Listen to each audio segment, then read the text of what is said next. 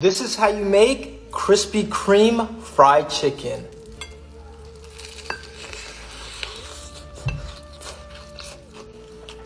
Oh my!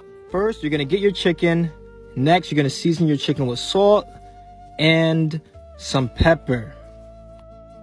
Next, you're gonna crack an egg, put it in there, mix it all around. And next, you're gonna add some flour.